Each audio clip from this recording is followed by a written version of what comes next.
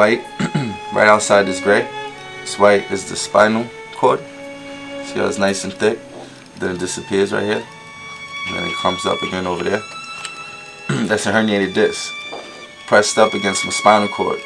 So, you know, so severe that it's actually was a danger of rupturing. So I had to get that removed. I had to get that removed and two vertebrae replaced.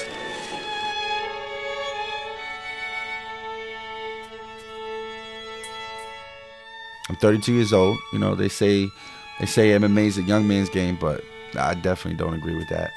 I think uh, you can go into this, you know, for quite a while, quite a while. And I'm actually about to debut for the first time at 32, which is kind of cool.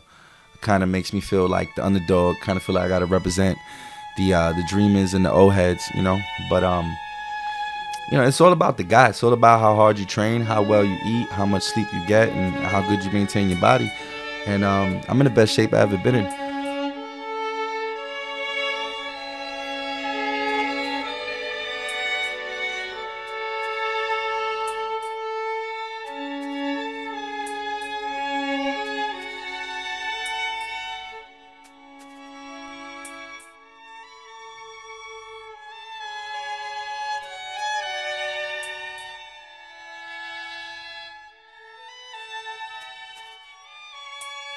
I wasn't always in the best shape. I used to be 365 pounds, sick. Uh, you know, uh, ultimately, I'm just getting started. Like I feel like the young guy. Like my career is, is kicking off now. You know, so I'm, I'm fucking ready, man. I'm ready.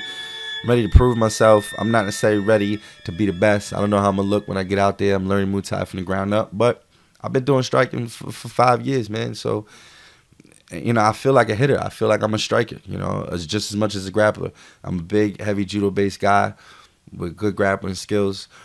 Um, but I want to show I'm a striker too, you know. And then when it's all said and done, put it put it together.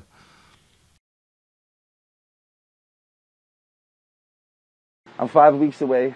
Um, I don't I don't feel the nerves or tension yet. I'm too focused, too busy training, uh, working hard, getting better. You know, um, I've done striking for a couple years, but my first base was boxing, and I thought I knew stuff about Muay Thai. And now that I'm doing Muay Thai, I realize I knew nothing. I'm learning Muay Thai from the ground up, and uh, it's going well though. I'm picking it up good. Um, got incredible coaches, incredible team. So, uh, so I'm feeling good. I, I, feel like I'm gonna be prepared. You know, I feel like I got a lot more to work on, uh, a lot more to learn, but I'm gonna be ready.